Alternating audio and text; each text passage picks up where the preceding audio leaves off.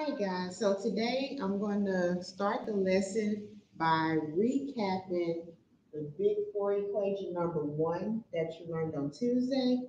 And then I'm going to recap free fall with the lab and lesson that you did on Wednesday and Thursday. And then I'm going to explain the equation number two that you will be learning about today. So your big equation number one is very, very similar to your acceleration equation. This is your VF is equal to VI plus acceleration times the time, okay? So here's the practice problem that I have written out because you will see a lot of word problems instead of just giving you the information and the variables. Also, if you haven't seen this strategy already, it will help you guys to write down these five variables that you will see with all four equations. You have distance, or you may see height, which is the same thing initial velocity, time, final velocity, and acceleration. And I will explain why I did this as we go through the problem.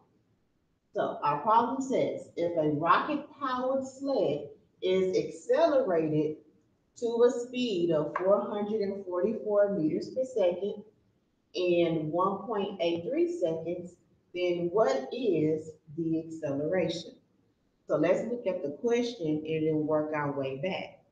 We are asking for acceleration. So here on the side with my variables, I'm going to put a question mark next to A because that's what we're looking for. Next piece of information they give us as we work backwards is the 1.83 seconds.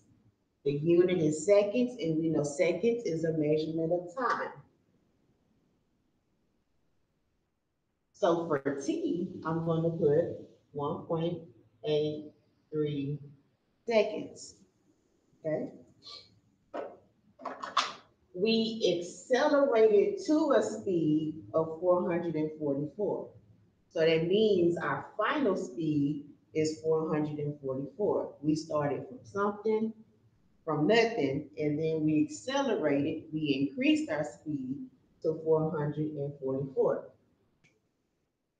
So this meters per second, which is the unit for speed, this is our final speed. This is what we sped up to.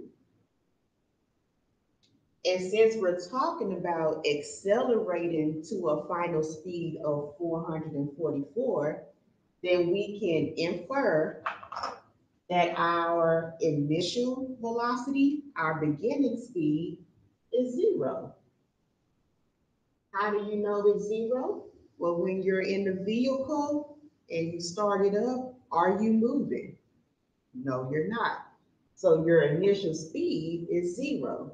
And then once you start driving, you're going to increase your speed, which is acceleration. We are increasing our speed to 444 meters per second. Okay.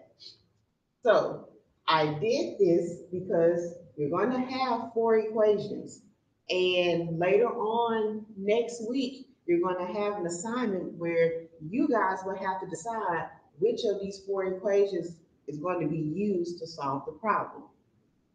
So we have the information in for each variable.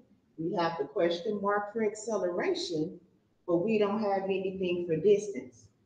So that means we're not going to use no distance in our equation.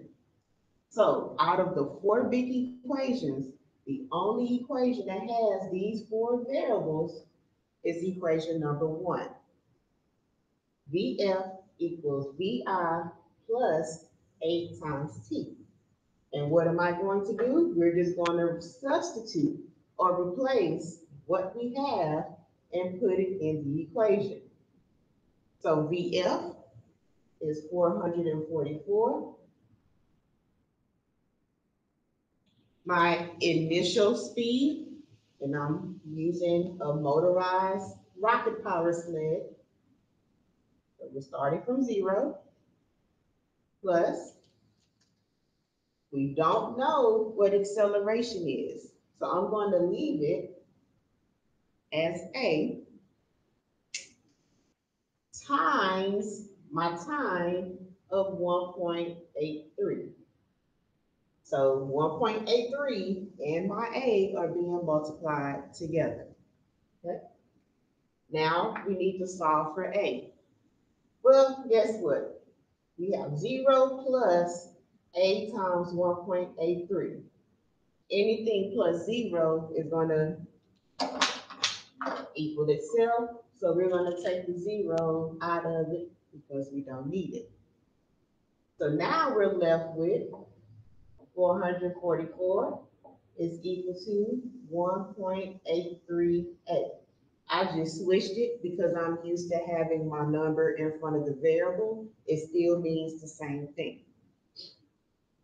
Since we are multiplying one point eight three times A, in order to get rid of it, we have to do the opposite operation. Opposite of multiplication is division. What you do to one side, you do to the other. This gives us, this gives us one. And we don't put ones, so we just leave it as A. Get my handy dandy phone calculator, like a lot of you guys have as well. And I'm going to divide exactly as I see it. Four hundred and forty-four divided by one point eight three. And feel free to check my math if I am wrong. So your acceleration is going to be two hundred forty-two, and I'll do two decimal places. And my units is gonna be meters per second squared. Okay, so this is pretty much a recap over equation number one. Get ready for a recap on free fall.